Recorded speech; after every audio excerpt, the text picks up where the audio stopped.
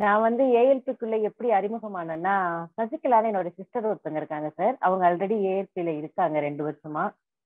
அந்த அவங்கள வந்து எனக்கு ரொம்ப வருஷமா தெரியும். கிட்டத்தட்ட ஒரு இருபது வருஷமாவே தெரியும் சார் சாதாரணமா இருக்கிற பொண்ணு என் பையனுக்கு ஒரு தடவை என்னப்பா பண்ணிட்டு இருக்க? நடுவில் ஒரு அஞ்சாறு வருஷம் பார்க்க முடியல சார் அவங்க பிசியா இருக்காங்க.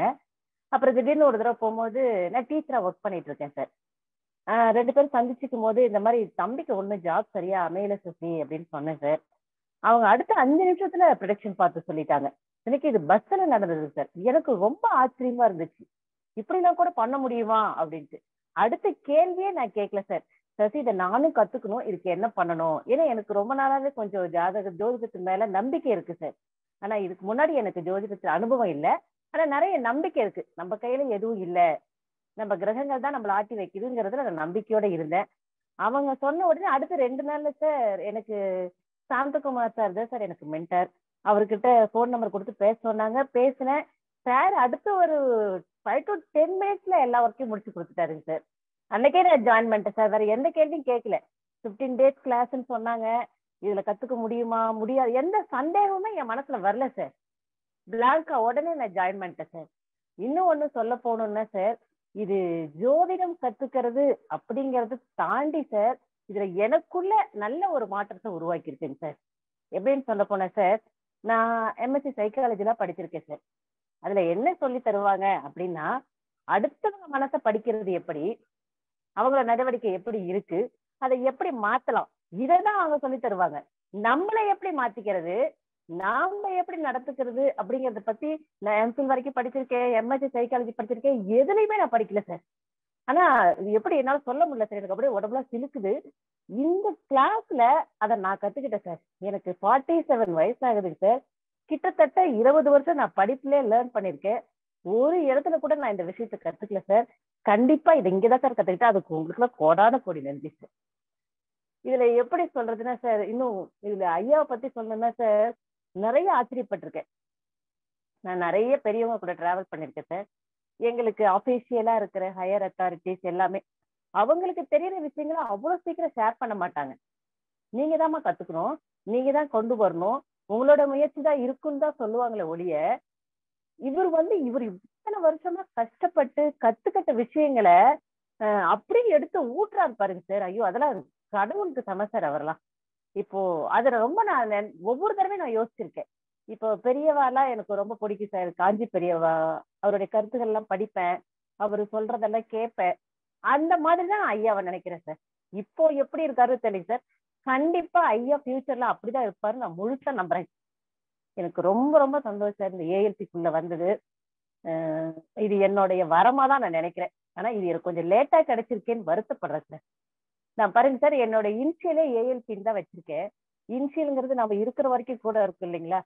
அது போல உங்க கூட இந்த ஏஎல்பி கூட நான் இருக்கிற வரைக்கும் இருக்கணுங்கிறத சார் என்னுடைய ரொம்ப பெரிய நம்பிக்கையா இருக்கு சார். அதை நான் ரொம்ப விரும்புறேன் சார். அப்படிதான் சார் இருப்பேன். அதை நான் உறுதியா நம்புறேங்க சார். இன்னொரு விஷயம் சார் இது எனக்குள்ள என்ன மாற்றம் ஏற்படுத்துச்சு அப்படின்னு சொன்னா சார் இந்த கர்மா கிளாஸ் முடிஞ்ச பிறகு ஒரு பெரிய சேஞ்சஸ் நடந்துச்சு சார் என் லைஃப்ல அவங்க வந்து இந்த மாதிரி பெரிய முன்னும் எந்த பரிகாரமும் தேவையில்லம்மா. நீங்க வந்து பெரியவங்களுக்கு மூதாதையர்களுக்கு இல்ல நமக்கு மனசுக்கு நெருக்கமானவங்க கூட ஏதாவது ஒரு நம்மளால ஒரு காயப்பட்டிருந்தா அவங்க கிட்ட மனப்பூர்வமா மன்னிப்பு கேளுங்க அப்படின்னு சொல்லியிருந்தாங்க. அந்த கிளாஸ் முடிஞ்ச நாள் நானும் அப்படி செஞ்சிருந்தேன் சார் ஆல்ரெடி வீட்டுல கொஞ்சம் எஜுகேஷன் லோன் இந்த மாதிரி ஒரு ப்ராப்ளம் பையனுக்கு இருந்துச்சு. ரெண்டு நாளைக்கு முன்னாடி தான் கோர்ட்ல இருந்து வந்திருந்தாங்க. நீங்க வாங்க உங்களால என்ன முடியுமோ அதை கொடுத்து க்ளோஸ் பண்ணிக்கிங்க அப்படின்னு சொல்லிட்டு இருந்தாங்க சார் இந்த விஷயம் இப்ப இல்ல சார் நாலு வருஷமாவே நடந்துகிட்டு தான் இருக்கு. ஆனா எங்களுக்கு அது வரைக்கும் தோணல. இதை செய்யணும்னு. இது முடிஞ்ச உடனே நான் என் ஹஸ்பண்ட சொல்றேன் அவங்க வராங்க அவங்க மரியாதைக்காகவாவது நம்ம போய் பார்த்துட்டு வரலாம். அப்படின்னு சொன்னேங்க சார். அவரும் போனாரு. அந்த மேனேஜரே வந்து இவர்கிட்ட சொல்றாரு நீங்க என்ன முடியுமோ அதை செஞ்சிடுங்க. நான் இருக்கும்போது முடிச்சு கொடுத்துட்றேன்னு சொன்ன தொகையை விட ரொம்ப கம்மி சார். ஒரு ஃபிஃப்டி பர்சன்டேஜ் மட்டும் ஜட்ஜி கிட்ட சொன்னோம். அன்னைக்கே முடிச்சு சார். அது வந்து எனக்கு மிகப்பெரிய ஒரு மாற்றமா இருந்ததுங்க சார். அப்பதான் என்னால அதை உணர்வு பூர்வமா உணர முடிஞ்சது. இப்ப ஒரு விஷயத்த காதால கேட்டுக்கிறதோ படிக்கிறதோ வேற விஷயம் சார். ஆனா உணர்ந்தோம்னா நம்ம அதை மறக்கவே மாட்டோம் இல்லைங்களா? இது வந்து என் லைஃப் லாங் நான் இருக்கிற வரைக்கும் இந்த உணர்வு எனக்கு இருக்கு சார். எனக்கு ரொம்ப ரொம்ப சந்தோஷமா இருக்கு சார் இந்த கிளாஸ்ல ஜாயின் பண்ணதுக்கு. நான் வந்து ஒரு டீச்சர்ஸ் அப்படி டீச்சர் அப்படிங்கிறது தாண்டி ஒரு ஃபேமிலி உமனா இருக்கேன் சார். நிறைய பெரியவங்க இருக்காங்க வீட்டில் எப்படி சொன்னா மாமனார் மாமியார் எங்க மாமனாருக்குலாம் தொண்ணூத்தெட்டு வயசு ஆகுதுங்க சார். எங்க மாமனார் மாமியாருக்கு அஞ்சு குழந்தைங்க இருக்காங்க. ஆனா நாங்க தான் கேர் பண்ணிட்டு இருக்கோம் ஆரம்பத்துல இருந்து. அப்பெல்லாம் என்னதான் செஞ்சாலும் சார் மனசுக்குள்ளார ஒரு உறுத்தல் இருக்கு. நாமளே செய்யணும் அப்படின்னு. ஆனா சார் இந்த கர்மா கிளாஸ் ஐயா பேசுறது நீங்க பேசுறது அவங்க கிட்ட ஆசீர் வாங்குறதெல்லாம் எவ்வளவு தொண்ணூறு வயசுக்கு மேல போயிட்டாலே அவன் கடவுளுக்கு சமம் சாந்தி நான் சொன்னாங்க. நான் நினைச்சேன் கடவுளையே கடவுள் நம்ம கிட்ட கொடுத்துருக்காரு. அவங்களுக்கு தொண்டு செய்யறத பத்தி நாம ஏன் கவலைப்படணும்? நமக்கு இது ஒரு அதிர்ஷ்டம் இல்லையா? இது ஏன் நம்ம பாரமா நினைக்கணும்? இப்ப உங்களுக்கு செய்யற பணிவிடைய சார் நான் ரொம்ப சந்தோஷமா மன நிறைவா செய்யறேன் சார். இது வந்து என் வாழ்க்கையில என் வாழ்நாள்ல நடந்த ஒரு பெரிய மாற்றம் சார். இது ஏஎல்பியால தான் சார் நடந்தது. இதை நான் உறுதியா சொல்வது சார். இதெல்லாம் உங்களுக்கு குருமார்களுக்குலாம் ரொம்ப நன்றி சார். இதுக்கெல்லாம் நான் சொல்லிக்கிறேன் முக்கியமா ஐயாவுக்கு சார். அது எப்படி சார் சொல்றது? என் வாழ்க்கையவே புரட்டி போட்டிருக்குதுங்க சார் இந்த விஷயம். இப்போ ஹஸ்பண்ட் ஒய்ஃபுக்குள்ள ஒரு புரிதல் இல்லாம சில விஷயங்கள்ல சில நேரங்கள்ல பிரச்சனைகள் வரும் சார். மனஸ்தாபம் வரும். அப்பெல்லாம் கோபம் வரும். ஆனா இப்ப அவரோட ப்ரொடெக்ஷன் நான் பார்க்க ஆரம்பிச்சிட்டேன்.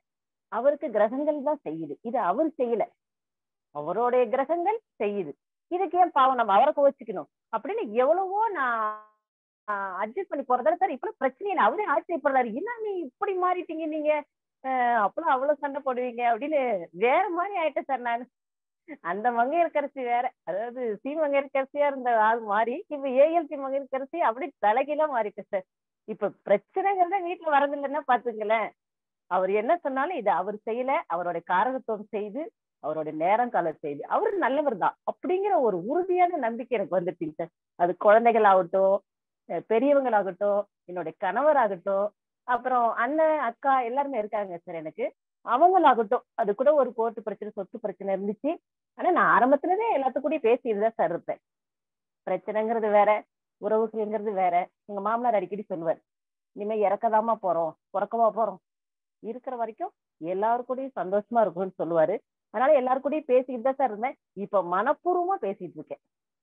அடுத்த நாளே எல்லாருக்கும் ஃபோன் பண்ணி எல்லாரும் நல்லா இருக்கீங்களா? ரெண்டு பேருமே உடம்பு முடியாதவங்க. சரியா மருந்து மாத்திரை எடுத்துக்கிறீங்களா? உடம்ப பாத்துக்கங்க. அப்படின்னு உண்மையான ஒரு அக்கறையோட இப்ப நான் பேசிட்டு இருக்கேன் சார். இந்த மாற்றம்லாம் சார் ஏஎல்பியால தான் சார் முடிஞ்சுது. அதுக்கு கோடான கோடி நன்றி சார். எனக்கு மென்டார் வந்து சாந்தகுமார் சார் தான் சார். அவரு வந்து சார் நான் ஏன்னாலும் கொஞ்சம் வேலையா இருப்பேன் ஐயா வேலையா இருப்பாரு. எப்போ வாட்ஸ்அப்ல மெசேஜ் அனுப்புனாலும் அடுத்த செகண்ட் ரிப்ளை பண்ணிடுவாருங்க சார். அந்த டைமிங் சென்ஸ் எனக்கே ஆச்சரியமா இருக்கும். நான் வந்து ஒரு சாதாரண ஒரு ஆசிரியரா தான் சார் இருக்கேன். டென்த் டுவெல்த் பசங்களுக்கு கிளாஸ் எடுப்பேன். அவங்க ஏதாவது ஒரு கொஸ்டின் கேட்டா கூட இருப்பா நாளைக்கு பார்த்து வந்து சொல்றேன். அப்படின்னு தான் சொல்லுவேன். என்னால அப்பவே சொல்ல முடிஞ்சிருந்தா கூட. ஆனா என்னோட மென்டார் அவர் எவ்வளவு பெரியவர் எவ்வளவு வேலை இருக்கும் அடுத்து செகண்ட் ரிப்ளை பண்ணுவார். அவரை பார்த்து சார் நம்ம ஸ்டூடெண்ட்டுங்களுக்கு நாம வழிகாட்டி. எத்தனை வேலை இருந்தாலும் இது நமக்கு முதன்மையா எடுத்துக்கணும். அப்படிங்கிற ஒரு விஷயத்தை கத்துக்கிட்டேங்க சார் அது எனக்குள்ள ஒரு பெரிய மாற்றத்தை தான் சார் உருவாயிருக்கு. ரொம்ப பெரிய சேஞ்சுன்னு சொல்லணும் சார் அப்படியே தலைகிலா என்ன மாத்தி இருக்குன்னு சொல்லணும். இது சார் இது நூறு சதவீதம் என்னால பார்க்க முடியுங்கிற நம்பிக்கை இருக்கு சார் அக்கா பொண்ணு ஒரு பொண்ணு இருந்தா சார் ஐடில ஒர்க் பண்றா. ரொம்ப டிப்ரெஷன்லயே இருந்தா. என்ன சித்தி இப்படி பாக்குறீங்களாமே அப்படின்னு வந்து கேட்டா சார் பார்க்கும்போது அவளுக்கு அஞ்சு எட்டு கனெக்டிவிட்டி இருந்தது. சித்தபிரம்மன் நீங்க சொல்லியிருந்தீங்க. அவனுக்கு டிப்ரெஷன் இருக்குதான்ப்பா செய்யும். பனிரெண்டுல சனி இருந்தது சார் பாதம்னு சொல்லியிருந்தீங்க இல்லைங்களா? அந்த காரகத்துவம் அந்த நோய் இதெல்லாம் கரெக்ட் பண்ணி நீ கொஞ்சம் வாக்கிங் போ. கொஞ்சம் யோகா எல்லாம் பண்ணுமா? சரியா இருக்கும். அப்படின்னு சொன்னா சரி இப்போ அவ எவ்வளவு ஃபிஃப்டி பர்சன்ட் ரிலாக்ஸ் ஆயிட்டா. அவள் வந்து சொல்றா சித்தி இப்போ கொஞ்சம் பரவாயில்ல நான் ரொம்பவே ரிலாக்ஸ் ஆகியிருக்கேன் அப்படின்னு. அதனால எனக்கு நூறு சதவீத நம்பிக்கை இருக்கு சார் நிச்சயமா சார் நான் கடைசி வரைக்கும் உங்க கூட பயணம் பண்ணுவேன். அதுல வந்து நான் உறுதியா இருக்கேன். நீங்களே என்ன நீலாம் வர முடியாதுமா அப்படின்னு சொன்னாலும் நான் ஒத்துக்க மாட்டேன் சார் உங்களை விடுறதா இல்ல உங்க கையை பிடிச்சிட்டேன் கடைசி வரைக்கும் உங்க கூட தான் பயணம் பண்ணுவேன். இதுக்கு மேலேயும் மேலே இது வந்து இருபத்தி நாலாவது பேட்ச் சார் நானு. இருபத்தி நாலாவது பேட்சோட மங்கையர் கத்து ஏஎல்பி பிரிய போறது இல்ல நான் அட்வான்ஸ் கிளாஸ் எத்தனை இருந்தாலும் நான் அவங்க கூட பயணம் பண்ணிக்கிட்டே தான் சார் இருப்பேன். இந்த நீங்க என்ன தொல்லையா நினைச்சாலும் சரி சார் நான் உங்களை விடுறதா இல்ல. கடைசி வரைக்கும் உங்க கூட பயணம் இருக்கு சார் என்னோட பயணம். அதுக்குதான் சார் நான் எக்யூரேட்டா சொல்லலாம் சார் அதுக்காக தான் சார் வாங்குறேன். அது இல்லாமயே எல்லா விஷயங்களும் ஏன்னா கோல்டன் ரூல்ஸ் இருக்கு சார் டி நைன் கரெக்டா சொல்லி கொடுத்துருக்காங்க. எந்த கடந்த காலத்துலமா நிகழ்காலமா அதை பார்க்கும் போதே ஓரளவுக்கு தெரியுங்க சார். கரெக்டான துல்லியம் வேணும் அப்படிங்கிறதுக்காக இந்த சாஃப்ட்வேர் சார். ஏன்னா நைன்டி பர்சன்டேஜ் ஃப்ரீ சாஃப்ட்வேர்லயும் கிளாஸஸ் நான் வந்து இது வரைக்கும் ஒரு கிளாஸ் கூட மிஸ் பண்ணதில்ல சார். அப்படியே ஒரு தடவை ஒரு கல்யாணத்துக்கு போனேன். அதை கூட ஆறரை வரைக்கும் அட்டன் பண்ணிட்டு தான் சார் போனேன். எல்லா நோட்ஸும் வச்சிருக்கேன் சார். எழுதி வச்சிருக்கேன். அதை அப்பப்ப திருப்பி பார்த்துக்கிறேன். முடிஞ்ச அளவுக்கு ஹோம்ஒர்க்ஸும் பண்ணி சாருக்கு அனுப்பியிருக்கேன். அதனால எனக்கு நூறு சதவீதம் என்னால ப்ரொடக்ஷன் பண்ண முடிஞ்சிருச்சு. தொண்ணூறு சதவீதம் முடியாது. அந்த அக்யூரசிக்காக தான் சார் சாஃப்ட்வேர் கேட்கறேன் சாரை சொல்லணும்னா சார் அவர்லாம் தெய்வ பிரவீன் தான் சார் சொல்லணும்.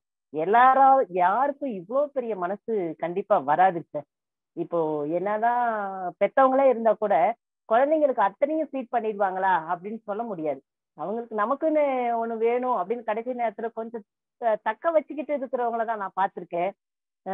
எங்க நம்ம எல்லாத்தையும் அவர் ஒரு குழந்தையா தான் பாதி பாதிக்கிறாருன்னு நான் நினைக்கிறேன். அவர் வந்து கடவுள் மாதிரி. எல்லாத்துக்கும் நமக்கு தெரிஞ்ச விஷயம். அத்தனை பேத்துக்கு போகணும். எல்லாரும் வாங்கையா படிக்கலாம் அப்படின்னு. அது அவரோட எளிமை பாருங்க சார். இவ்வளோ பெருசு பெரியவர். சாதாரணமா இருக்காரு. ரொம்ப எளிமையா இருக்காரு. எல்லாருக்கும் எல்லா விஷயங்களும் போகணும்னு நினைக்கிறாரு. உரிமையா திட்டாரு அது எல்லா இடத்துலயும் கிடைக்காதுங்க சார். அதுவே எனக்கு ரொம்ப பிடிக்கும் சார். அவர்கிட்ட எனக்கு பிடிச்சதே இந்த உரிமையா திட்டுது ஏனையா இப்படில கேள்வி கேட்குறீங்க? நல்லா படிங்கய்யா.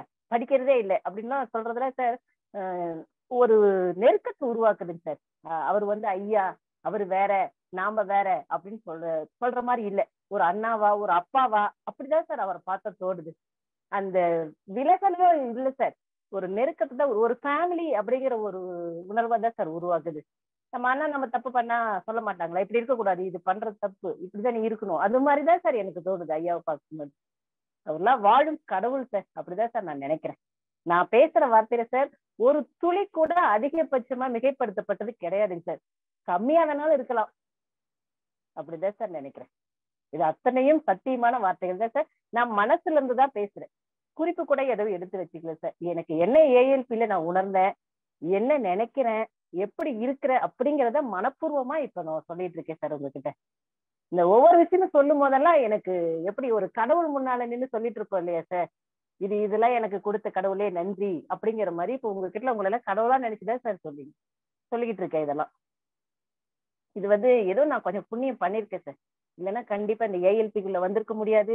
உங்களை மாதிரியான குருமார்களை எல்லாம் சந்திச்சிருக்க முடியாது. இந்த டீச்சர்ஸ் இருக்கிறீங்க சார் அப்ப ரொம்ப பொ- இவ்வளவு பொறுமையா நானும் ஒரு டீச்சர் தான் சார் நானும் இருபது வருஷமா ஒர்க் பண்ணிட்டு இருக்கேன்.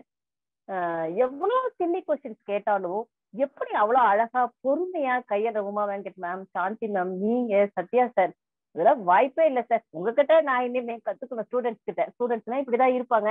நாம தான் இப்படி கொண்டு போகணுங்கிற விஷயத்த சார் நானுமே நல்ல டீச்சர்ஸ் நல்லா விருதுல கூட வாங்கினேன் சார் ஆனாலும் உங்களையெல்லாம் பார்க்கும்போது நான் ஒண்ணுமே இல்லை அப்படிங்கிற மாதிரி இருக்கு சார் எனக்கு.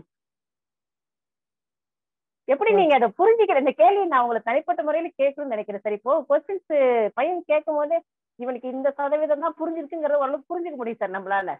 இவனுக்கு இந்த பாட்டு புரியல. அதனால இவனுக்கு அது மாதிரி நீங்களும் ப்ரொடிக்ஷன் பண்ணிப்பீங்கன்னு நினைக்கிறேன் சார் நான். பல வகையான ஸ்டூடெண்ட்ஸை பார்த்திருக்கேன். ஆஹ் நல்ல பிரைட்டு ஐக்கு பவர் நிறைய இருக்கிற பசங்க. எல்லாத்தையும் ஆவரேஜ் எல்லாத்தையும் பார்த்திருக்கேன் சார். நீங்க ப்ரொடக்ஷன் பண்ணிக்கிறீங்க. மோரோவர் நானும் அந்த மாதிரி பண்ணிருக்கேன் சார் இருந்தாலும் உங்களை பார்க்கும்போது எனக்கு ஆச்சரியமா இருக்கும். நான் கூட ஹெச்ஓடியா இருக்கும்போது சார் டீச்சர்ஸ் சொல்லுவாங்க எவ்வளவு ஃபீட் பண்ணாலும் பையன் புரிஞ்சுக்க மாட்டேங்கிறான் மேம் என்ன பண்றது? நான் காமராஜர் ஐயா சொல்ல சொல்லுவேன் முடிஞ்சா பயிற்சி கொடுங்க முயற்சி பண்ணுங்க. இல்லைன்னா பயிற்சி கொடுங்க. கண்டிப்பா பயிற்சி அவங்கள மாத்தும் அப்படின்னு. அந்த பயிற்சி இப்ப என்ன மாத்திருக்குங்க சார் நான் மத்தவங்களுக்கு சொன்ன விஷயம் என்ன மாத்திருக்கு இன்னும் ஒரு விஷயம் கண்டிப்பா சொல்லி ஆகணும் சார் இந்த பணங்கிற ஒரு விஷயம் நீங்க கேக்குறதுல சார் இது எப்படி அந்த அமுதத்துல கடல்ல எடுத்த அமுதத்துல ஒரு துளி மாதிரி இதெல்லாம் ஒரு விஷயமே கிடையாது சார். நீங்க எங்களுக்கு சொல்லி கொடுக்குற விஷயத்துக்கு நாங்க கட்டுற பணம் ஒரு சதவீதம் கூட கிடையாது சார். ஏன்னா நீங்க அவ்வளவு பெரிய விஷயங்களை சொல்லி கொடுக்குறீங்க. அதனால இதெல்லாம் ஒரு விஷயமே இல்லை சார். அவ்வளோ விஷயங்களுக்கு வாழ்க்கைக்கு தேவையான வாழ்க்கை கல்வின்னு கூட சொல்லலாம். ஜாதகம்ங்கிறது ஒரு பக்கம் இருந்தாலும் அதையும் தாண்டி இவ்வளோ அருமையான அனுபவங்கள்லாம் இங்க மட்டும்தான் சார் கத்துக்க முடியும். கத்துக்க முடிஞ்சது என்னால. நான் இது வந்து உணர்வு பூர்வமா சொல்றேன்.